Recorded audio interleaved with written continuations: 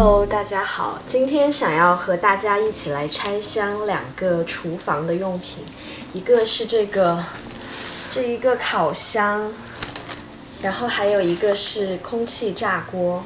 这个气炸锅呢是飞利浦的，然后是这个粉色的。我一直挺想要买一个气炸锅的，然后这一次终于买了。这一个蒸烤箱是 Toshiba 的。我们家之前有一个烤箱，但是它好像最近坏了，所以就又买了一个新的来试试看。那我们先来开这一个气炸锅。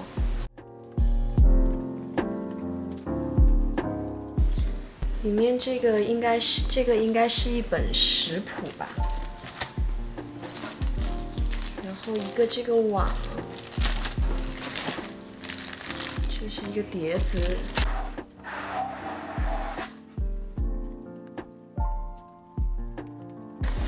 感觉还蛮好看的耶，这个粉色。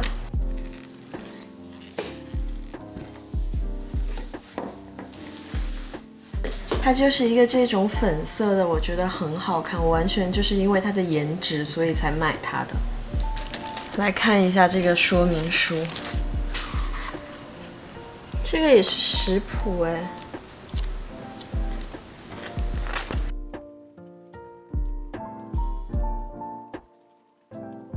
这个容量我觉得不算太大，整一个机器感觉还挺小巧的。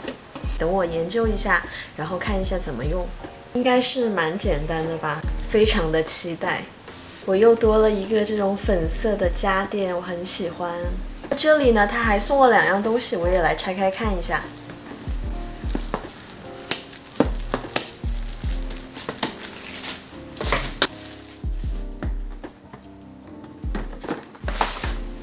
这是一个 Le Creuset 的这个碟子，很好看呢。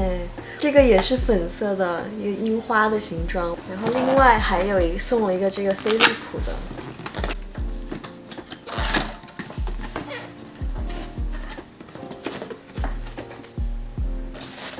这个应该也是气炸锅的一个配件吧，然后它里面还有这种 cupcake 的小纸杯，这个应该是可以用来烘焙用的。我猜哦，那这个就拆箱完毕了。现在来拆下一个这个烤箱。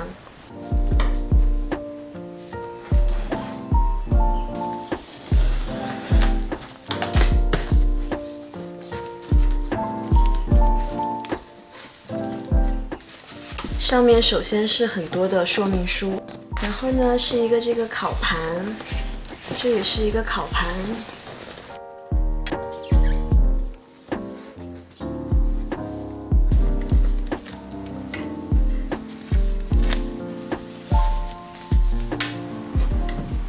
然后它其实真的不大，因为我们家的厨房也放不了太大的烤箱，所以就想找一个这种比较小巧一点的，好放一点。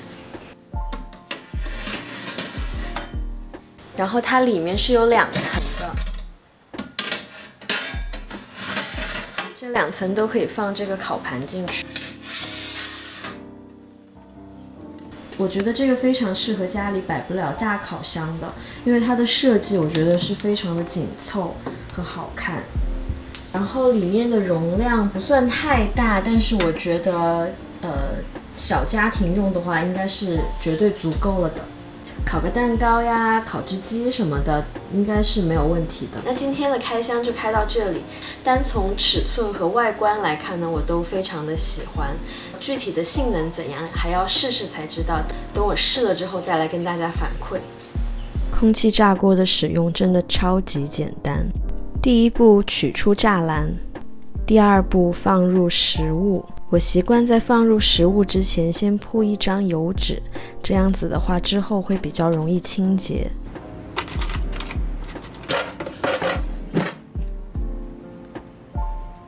设定温度和时间，然后就只需要等待就可以了。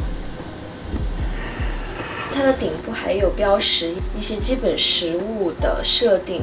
比方说解冻就是一百八十度，然后十四到十八分钟，然后鸡腿呢就是一百八十度，然后十四到二十四分钟，鱼类两百度十到十八分钟，诸如此类。只需要设定温度和时间，用这个简单的方法就可以做出各种各样美味的食物了。